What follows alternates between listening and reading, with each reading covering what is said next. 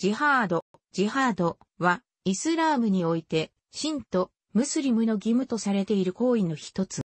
ジハードは本来、努力、奮闘の意味であり、ムスリムの主要な義務である5行に次いで、第6番目の行と言われることがある。日本では一般に、聖戦と訳されることが多いが、厳密には正しくない。ジハードの重要性は、イスラームの聖典、クルアーン、コーランが神の道において奮闘せよと命じていることと、あるいはまた、預言者、ムハンマドと初期のイスラーム共同体、ウンマのあり方に根ざしている。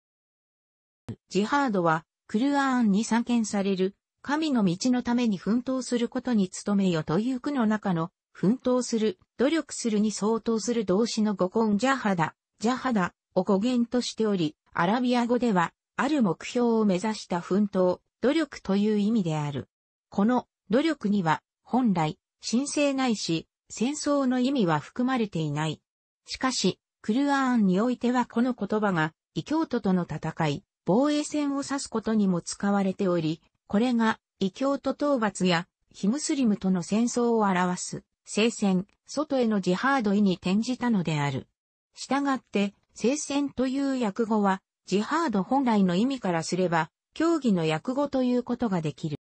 イスラームと並び、世界宗教と称される仏教、キリスト教と比較した際のイスラーム教の極だった特徴としては、聖教一体の宗教共同体の存在が挙げられる。この宗教は単なる個人的、内面的な信仰体系というにとどまらず、むしろ一つの確固たる共同体そのもの、ないし共同体的生活の全体なのであり、また、それを支える固有の法律、政府、社会制度を内的に規定しているのである。そして、預言者としてムスリムを指導したムハンマドは、ユダヤ教やキリスト教の預言者や宗教指導者にも、まして、神の道に基づく理想の国運馬を建設しようという情熱と意欲に満ち溢れていた。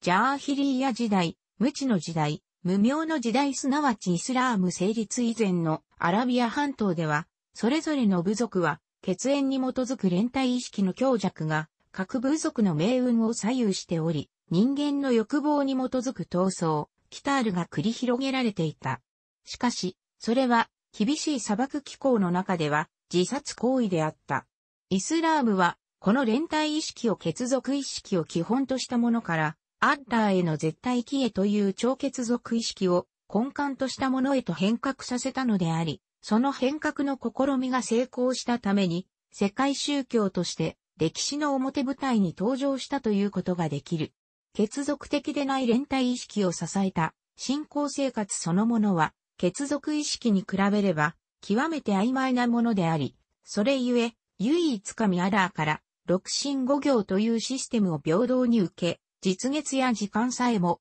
同一にして見える形での連帯意識、同胞意識の情勢を毎日測ることとしたのである。ジハードとは、こうして形成された宗教共同体を守ろうとする実践的な栄意なのである。イスラーム共同体の歴史は、それゆえ、ムハンマドの時代から現代に至るまで、クルアーンのジハードに関する教えをその枠組みとして見てゆくことができる。クルアーン第49章、部屋の章15節には、とあり、ジハードとは従って、ムスリムのあるべき姿を述べた、イスラームの代表的な言葉でもある。クルアーンにおけるジハードの教えは、ムスリムの人々の自己認識、そして唯一神アッラーを敬う心、共同体の動員、拡大、防衛などの書店において根本的に重要なものである。それは一人の人間として前期人生を送ることは決して容易なことではなく、また決して単純なことでもないという認識や思念に関わってくるからである。神の道にかなうような道徳的で高潔な人となるためには、自らの内面に潜む悪と戦い、善行によって社会の改善に資するよう、真剣に奮闘努力しなければならない。それにまた、ジハードはその人の置かれた環境によっては、不正や抑圧に対する戦いという意味を持つこととなり、戦況と説得によって、また場合によっては、必要に応じては武器を取り、聖なる戦いを繰り広げることによって正しい社会を作らなければならないという考えと結びつくのである。ジハードは、六神五行というムスリムの信仰と義務の項目には含まれていないが、クルアーンでは、奮闘努力という非常に幅広い意味で登場し、従って、その意味からも六神五行を超え、イスラームの信者として、当然持たなければならない基本的な心構えとして、一層重要な命令と考えられている。広い意味でのジハードには、次の2種類が存在すると言われている。この2つについて、ムハンマドが実際の戦闘から日常生活に戻った時に語ったと伝承される言葉が、その内実をよく説明している。その言葉とは、というものである。大きなジハードすなわち、内へのジハードは、個々人のムスリムの心の中にある、悪や不正義、欲望、自我、利己主義と戦って、内面に正義を実現させるための行為のことであり、それだけに、一層困難で重要なものとされる。このことに関して、イスラーム共和制を取るイランでは、ラマダーンの期間、ラマダーン月は、ジハードの月などといった標語を掲げることにって、弛緩しがちなムスリムたちの規律を正し、イスラーム共和国の理想を思い起こさせるための行為という意味で、ジハードの語が用いられる。イスラームが五行の一つとして1ヶ月にわたる断食、サウムを信徒に命じている理由は、人々に食欲という本能を抑える訓練をさせることによって、精神は肉体よりも強固なものであると自覚させ、同時に食べ物への感謝の念を起こさせるためであると言われている。現在、多くの学者は、内へのジハードを大ジハードと呼んでおり、それに対して、外へのジハードを小ジハードと呼んでいる。どちらも、アンダーの命令を完遂できないような環境が作られないための奮闘努力という点では共通している。最も広い意味でのジハードは、すべてのムスリムに課される義務を指している。神の意志に従い、神の意志を実現して、倫理的な生活を営むために、説教、教育、実例及び文書などによって、イスラーム共同体の拡大のため、ムスリム一人一人としても、イスラーム共同体としても、行うべき義務なのである。また、ジハードには、イスラーム教とイスラーム共同体を外部からの攻撃から守る、権利、実際には義務という意味もある。20世紀後半にあっても、1978年からのソ連のアフガニスタン紛争において、アフガニスタンのムジャーヒディーン、口述がソビエト連邦の占領に対し、10年に及ぶ長いジハードを戦ってきた。歴史的に見れば、大ジハードは平和主義と寛容さを旨とするイスラーム神秘主義の潮流の中で特に支持されてきたものであり、その一方で支配者、権力者は領土拡大や侵略の大義名分とし、外へのジハードを利用してきた。現代でもしばしばテロリストと目される過激な集団が外へのジハードを大義名分として行動し、ムスリムの結集を呼びかけるために用いている。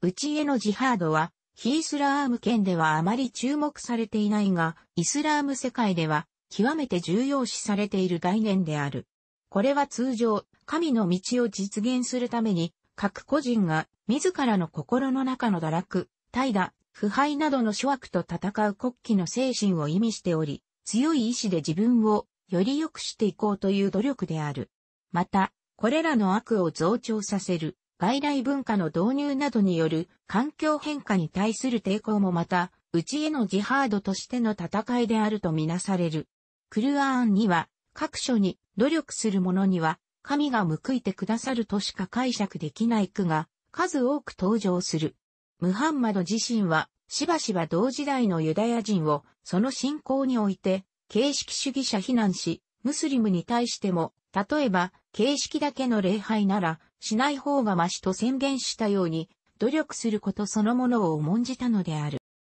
内へのジハードは大ジハードと呼ばれ、社会の平和的な運営には格べからざるものとして法学者や為政者からも重視される。ジハードを聖戦と訳して単なる戦いという意味でこの言葉を理解することは誤りであり、不況のための戦いと理解することもまた誤りであって、戦いの意味を有する場合でも、あくまでも防衛戦を指している。現代においては、多くのイスラーム諸国において、為政者、法学者、知識人ともに、内へのジハードを重視する傾向が今日。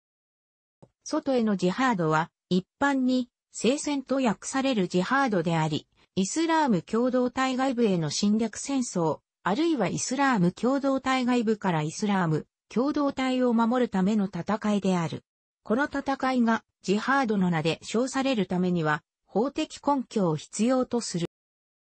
イスラーム法、シャリーヤは正統カリフ時代のイスラーム共同体、ウンマからアラブ帝国、ウマイヤ朝、イスラーム帝国、アッパース朝へと発展していった8世紀から10世紀頃にかけて備えされた。シャリーヤは初期イスラームの拡大戦争を支えたイデオロギーである、外へのジハードを以下のような観念にまとめた。すなわち、というものである。伝統的なシャリーアの理念においては、イスラーム共同体の主権が確立され、シャリーアが施行される領域、ダールアルイコールイスラーム、イスラームの家イコールイスラーム世界に、全世界と総人民が包摂されていなければならない。しかし、現実には、イスラームの家の外部には、イスラームの力が及ばない、ダールアルイコールハルブ、戦争の家、イコール非イスラーム世界が存在する。したがって、戦争の家をイスラームの家に組み入れるための努力、すなわちジハードを行うことが、ムスリムの義務とされるのである。上の定義から、イスラーム共同体の支配に服さない、異教徒の討伐は原則として正しい行為であり、極端に言えば、イスラーム共同体は、最終的には、全世界を征服し、異教徒を屈服させなければならないという論理さえ導き出される。この論理の根拠としては、クルアーン第2章第193節にある、創造がすっかりなくなる時まで、宗教が全くアッラーの宗教ただ一条になる時まで、彼らメッカの多神教徒を相手に戦い抜けがある。これは、イスラームがしばしば好戦的な宗教と見られる、ゆえんでもある。しかし、イスラームのジハード思想では、異教徒を討伐し、その結果として、非ムスリムを服属させることは認められていても、征服地の異教徒に対する強制回収は明確に否定されている。これは、クルアーン第2章256節の宗教に無理ジーは禁物という句を根拠にしており、クルアーンでは信じるのも信じないのも本人の自由であることが強調されている。したがって、ジハードは不況のための戦争であってはならないし、侵略戦争であってはならないと、ジハード擁護論者は主張する。しかし、ムスリムが外部の非ムスリムを討伐し、服属させることは、少なくとも、ジハード擁護論者の議論的視点、また一部の戦争用語のムスリムの利害関係を受け入れず、ジハード不要語論者や戦争不要語のムスリム、イスラームへの屈服を受け入れない非ムスリムの議論的視点、そして非ムスリムの利害関係を受け入れた場合、非ムスリムへの侵略戦争である。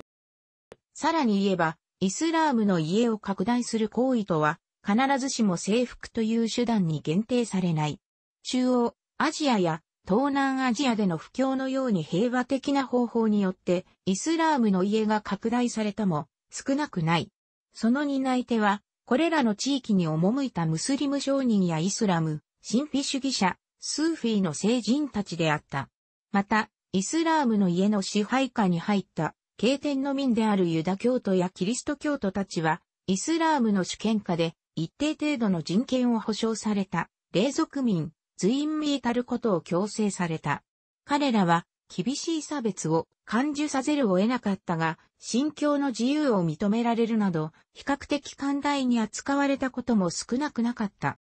また、時には戦争の家に住む異教徒がイスラームの家に対して戦争を仕掛けてくることも当然あり得る。このような場合、イスラーム共同体防衛のためのジハードがムスリムの義務とる。防衛戦に従事する者、聖戦士をムジャーヒド、単数形及びムジャーヒディーン、複数形という。彼らに対して唯一神アッラーはクルアーンを通じて神の道に戦う者は、戦死しても外戦しても我らがきっと大きな褒美を授けようと教え、ジハードで戦死すれば殉教者として、最後の審判の後、必ず天国に迎えられると約束する。一方で、クルアーンは、敵に背を向ける者は、たちまち神の怒りを背負い込み、その行く先は、ジャハンナム、地獄であると語り、ジハードを怠ることを厳しく非難している。しかし同時に、クルアーンは、戦争が神の道を実現するためにふさわしい努力行為、ジハードとして正当な戦争たり得るためには、異教徒がイスラーム共同体に対して戦いを挑み、不義をなした場合に限られることも示しており、従って異教徒たちがイスラーム共同体と和平を結び、不義の戦争を停止しようとしているならば、イスラーム共同体の側も異教徒に対する害を捨てて和平に努めなければならないと解釈される。この解釈に従えば、イスラーム共同体は、イスラームとの戦いを望まない、戦争の家勢力と、ラバ、条約を結び外交関係を樹立することが可能で、あると理解される。これら外交関係を取り結んだ諸国は、和平の家と呼ばれ、戦争の家とは区別される。もし、ある戦争行為をジハードとして遂行することが必要となった場合は、カリフやスルタンなどの統治者は、ムフティと呼ばれる宗教指導者に対し、その戦争がジハードとして認められるかどうかを諮問しなければならない。その結果、ムフティが合法であるとするファトワーを発することで、統治者はジハードを宣言することができる。ジハードには、このような法的根拠が必要であり、その根拠のないものをジハードとは呼べない。海戦が防衛的ジハードであり、法的根拠を有する場合は、全ムスリムは国家や民族を超えて全員イスラーム教徒が直接的にであれ、間接的にであれジハードに参加しなくてはならない。ただし、歴史的には、当該統治者の親民以外に、ジハード参加の強制力を及ぼすことは難しかった。これに対し、イスラーム共同体拡大のための侵略戦争の場合、参戦義務は統治者の家臣と親民に限られる。イスラームでは世界史において繰り広げられてきた普通の戦いをジハード、聖戦とは明確に区別し、それをキタールと呼称している。キタールとは侵略戦争や領土拡大、戦利品や奴隷の獲得、資源確保、植民地確保など人間の持つ単純な欲望に基づいて行われる戦争のことであり、また、憎悪から生まれる行為や、復讐の行為もきたあるであって、いずれも否定されるべき行為とされている。しかし、ジハードの名のもとであれば、侵略される非ムスリム、もしくはムスリムでも廃墟者や、非ムスリムカーフィルと断罪された勢力から見た侵略戦争は正当なものとされる。キタールはアラビア語のカタラ、殺したという言葉を語源としており、世俗的な欲望に基づいた戦争を意味している。ジハードが想定している戦争は、あくまでもムスリムの一部からして正当な侵略戦争並びに防衛戦争であり、イスラーム共同体、ウンマの利益になるものでなければならない。そして、海戦に際しては、宗教指導者の承認を必要とし、アンダーの漁名においてという呼びかけのもとに行われるのである。ジハードはイスラーム共同体を外からの攻撃から守ることだけではなく、内側に生じる崩壊の要因を除去するための奮闘努力を含んでいる。それを生命、財産を捧げても行うべしとしたところから、戦いの言葉で形容されているものと考えられる。そのように見るならば、ジハード、聖戦、奮闘努力は、ムスリムにとって最も重要で基本的な命令ということができる。そのため、ムスリムは外の世界に対し、封鎖的な環境を作らざるを得なくる。外からの異文化の導入や異質な世界との交流、接触、異なる価値観との対立から、アッラーの道を守らなくてはならないからである。その結果、イスラーム世界が採用した方法は、周囲に対し、あたかも大きく高い塀を張り巡らすようなものであった。ということができる。イスラーム世界が今なお中性的な雰囲気を濃厚に有していると指摘されるのもそのためであるが、しかしだからといって、イスラーム世界が外界に対して完全に閉鎖的であるというわけではない。ハディースに地を求めることは、すべてのムスリムの義務である中国までも地を求めよとあるように、イスラーム世界を発展させるための知識の導入は歓迎されており、イスラーム世界を発展させることもまた、ジハードの目的だからである。上述したように、ジハードは多義的な言葉であり、イスラームの歴史にあっては、それが善用されることもあれば悪用されることもあった。歴史的に見れば、全イスラーム共同体がジハードの意識を高め、異教徒との戦いに当たったのは、初期イスラームの時代のビザンツやペルシャへの侵略戦争であり、ジハード用語論からした場合のイスラームを広めるための聖なる戦いである大征服時代、及び中世ヨーロッパのキリスト教世界が聖地イエルサレム奪回を目的として7回にわたって、中東地に派遣した十字軍との戦いの時代が代表例なものである。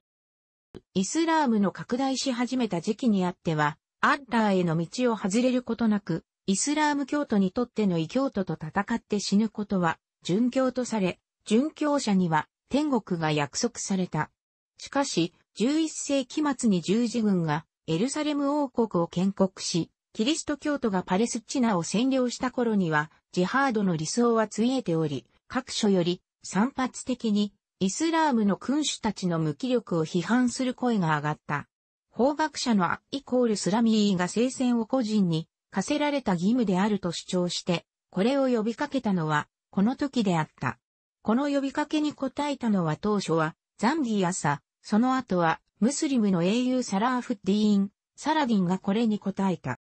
第一次世界大戦の際には、同盟国側に立ったオスマン帝国がジハード宣言を発しているが、しかし、ここでは、インドのムスリムの大影響力やアラブ人の反乱を食い止めることができなかった。とはいえ、一方では、19世紀以降、いわばイスラーム世界の辺境にあたる西アフリカ、マグリブ、スーダン、インドや東南アジアの地でジハードが呼びかけられ、植民地主義と帝国主義に対する抵抗が繰り広げられたのも事実である。20世紀後半にはユダヤ教の国イスラエルの拡大と戦うパレスティナのハマースやソビエト連邦の侵攻と戦うアフガニスンのムジャーヒディン運動が盛り上がるが、これらの根底には近代ムスリムの抵抗思想、防衛ジハードの思想と同様の性格を乱すことができる。このようにイスラーム的伝統の中でジハードが重要な役割を果たしてきたのは事実であるが、近年ではイスラーム教の改革を推進するジハードに参加することは、真のイスラーム教徒のすべてにとって神聖な義務だと主張する人々もいる。このような立場に立って現代イスラーム社会とその周辺を見渡すと、そこには腐敗した権威主義的政権が支配する世界や自らの経済的な成功、繁栄のみに関心が集中し、欧米社会の文化や価値観に染まった一握りのエリートだけが脚光を浴びる世界が立ち現れてくる。少なくとも、そのように捉えるムスリムは少なくない。そして、欧米諸国が民衆に対し抑圧的な態度を取るイスラームの政権を支え、地域の人材や天然資源を搾取し、イスラーム世界から文化を奪い、ムスリム自身が選んだ政権の下で公正な社会に生きる権利を奪っているように演じるのである。イスラーム主義、イスラーム復興主義に立つ活動家の多くは、ムスリムの力と繁栄を取り戻すには、正しいイスラームの教えに回帰することが重要と考えており、また、国家や社会のイスラーム化を強めるために、政治改革、社会改革が必要だと考えている。このようなイスラーム回帰の思想は、近代においては、ワッハーブ運動やアフガーニーの改革運動をこうとしており、後のサウジアラビア建国や反アラブ主義の台頭の原動力となった。そして、一握りではあるが、その中の暴力的な方向性を是認する一部の過激派は、救世主的な世界観と攻撃性を組み合わせて、国内外のイスラーム教を解放するためのジハードを呼びかけ、神の軍隊の創設を主張し、軍事的な動員を行っている。上述のように、ジハードは侵略戦争を遂行してゆくために利用すべきものでは決してないが、それでも実際には一部の支配者や政府、個人はそのようにジハードを利用している。例えば、1991年の湾岸戦争の際のサッダーム、フセイン、アフガニスタンのターリバーン、また、ウサマ・ビンラーディン及びアルカーイダなどがそれに相当する。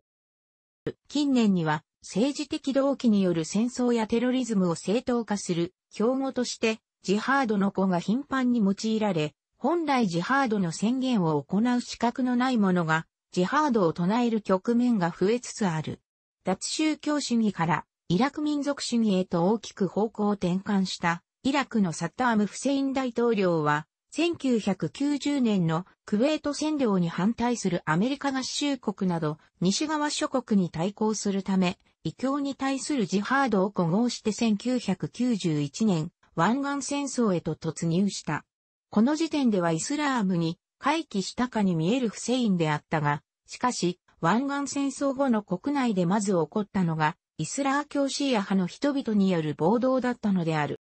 ジハードを標榜する政治家やテロリストの言葉が、ムスリムの人々の心をある程度は引きつけていることは事実である。これは、アメリカをはじめとする西側諸国がイスラエルに好意的でパレスティナのムスリムを追いやり、弾圧していることに対する同情や、アフガニスタンやイラクに対する空爆が、独裁政権や強権的な政府のみならず、ムスリムの民衆までをも死に追いやっていることに対する批憤がある。非侵略者、非抑圧者としての怒りを多くのムスリムが共有しているため、今こそがイスラーム共同体を防衛するためジハーを行うべき時であるという言葉に多かれ少なかれ共感を抱くのである。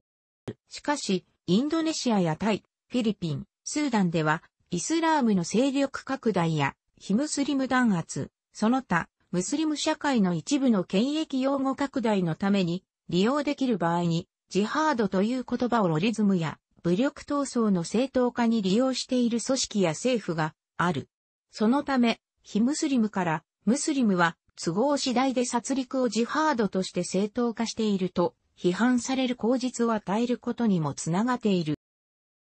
なお、古典的なシャリーアではムスリムであってもイスラームの教えから逸脱する心情を抱くようになった者は、不信心者、カーフィルと呼ばれ、戦争の家に住む異教徒以上の悪であり、速やかにジハードによって打倒されなくてはならないと規定している。16世紀から17世紀にかけて、互いに近接するスンナ派のオスマン帝国、トルコとシーア派のサファビー朝、ペルシャが領土をめぐって戦争するときは、お互いを不信心者と決めつけることによって、その戦争をジハードと位置づけ、自らの立場を正当化しようと図り、1980年から1988年まで続いたイラン・イラク戦争において、ルーホンラー・ホメーニーを要するイラン・イスラム共和国が世俗主義、脱宗教主義を標榜するバースト政権のイラクに対して恣意的意図憎悪を示したのは、このような思想を背景とする。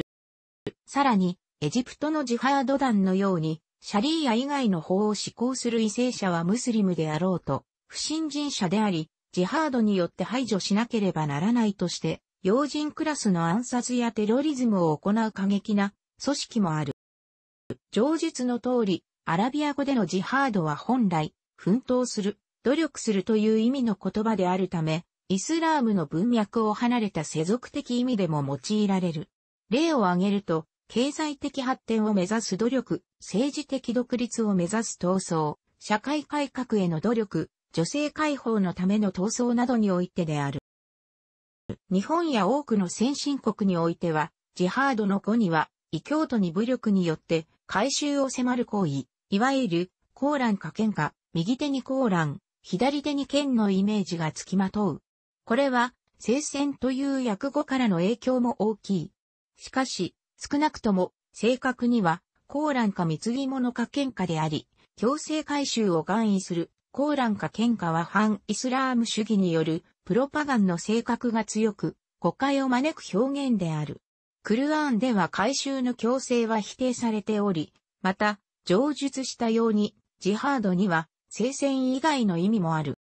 反イスラーム主義者は、しばしばムスリムに対し、ムスリムはタリバーンのアフガニスタンにおけるバーミヤン大仏爆破に見られるように攻撃してもいない仏教徒の信仰対象を勝手に破壊すると、ジハードとして正当化していながら、自分たちのモスクなどが攻撃を受けた場合は直ちに武力闘争を開始し、その闘争を他宗教からの弾圧に対する抵抗、すなわちジハードとして規定する傾向にあると批判する。これはジハードの合二重基準で用いることに対する批判である。ただし、一方では、こうした意見は、ムスリム全体とムスリムの中の一勢力とを混同した結果であるとの見方もある。